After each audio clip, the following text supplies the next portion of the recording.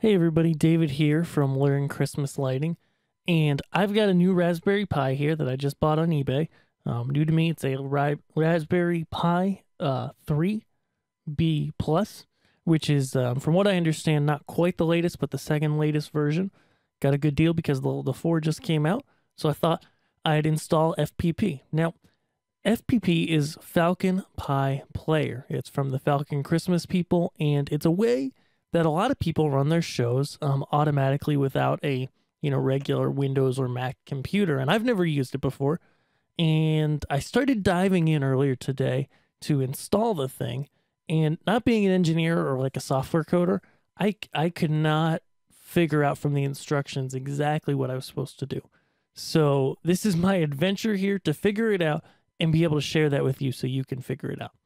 So the very best article that I could find on it was right here on the Falcon Christmas forums, the FPP 2.x installation instructions, which apparently has been read 14,000 times. So maybe it's worth something. Um, and I don't mean that in any wrong way. So the first thing it says is to go download the latest image from this website, which is right here. So I am going to go ahead and do that now. I'm going to get the Pi one because um, I'm using a Raspberry Pi, not a, a, a Beagle Bone, whatever.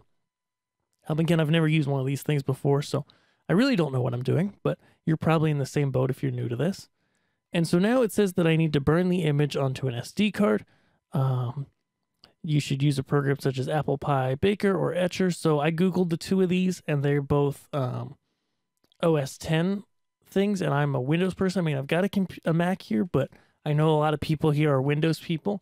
And so I Googled it, and I found Pi Bakery quote, the easiest way to set up a Raspberry Pi, and it runs on both Mac and Windows. So I thought, hey, this will be great to show people. And so I'm going to go ahead. I just downloaded that. I'm going to install it, and uh, then we're going to see what happens next. All right, so now Pi Bakery is um, loaded. I just started it, and it says, should I update it? Okay, I guess I'll update it. Um, why not? And so that's the first thing it's asked me. Cool. That, will, that only took a second sure I have a good um, deal. And so now I don't really know what I'm doing. And so what I'm going to do is press um, startup on first boot maybe. And I'm going to try to drag the file in here of FPP and see what happens. Nope, that didn't do anything.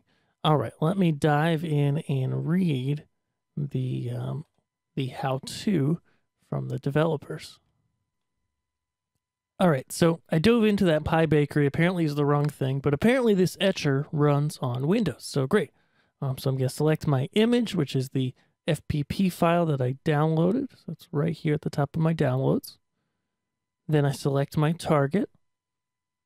And so I've got my SD card plugged in, as it shows right here. It's a 64 gig because that's what I had on hand. Um, for an SD card, you want it to be a class 10 so that it can run uh, nice and full speed, and that's a faster card. And as a bonus, um, you really want one if it's going to be outside that's built for security cameras. And I'll link below on Amazon to a place where you can get one of those um, because that's important. You know, you want it to be reliable over the long run, and, and that's what that'll ensure for you. So I'm going to press continue. I'm going to press flash. We'll let it do its stuff, and we're going to see what happens.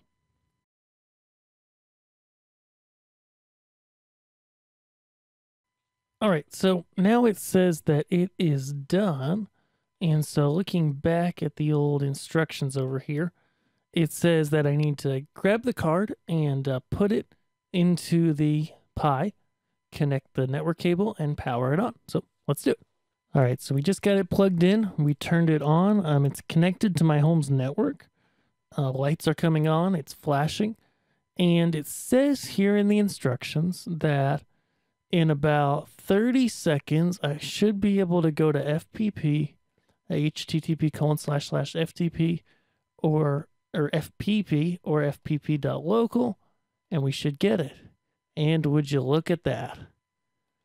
We've got it. So the first thing that comes up, and I remember reading about this and seeing it online, is that uh, I get a notice here about the SD card having unused space. So I can go ahead and make a new portion on that SD card to save my shows. And so why not? You know, we'll give it a try. Um, so let's see, we'll go down here.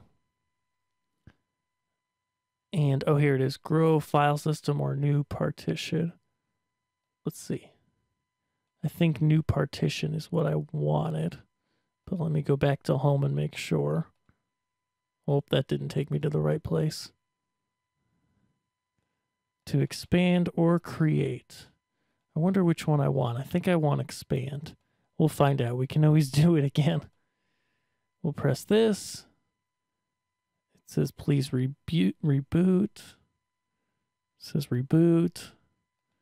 We click it.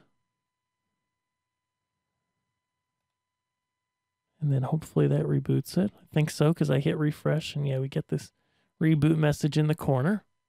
Awesome. I'm going to pull my instructions over to my other screen so I can read them and see this configuration at the same time. All right, and we're back and it seems to be working. And so that's where I'm going to stop this video for today. This is just the basics of getting it installed. And uh, I'm going to go grab a sequence, um, figure out what to do with it to get it on this thing, and uh, then I will show you from there. Thanks.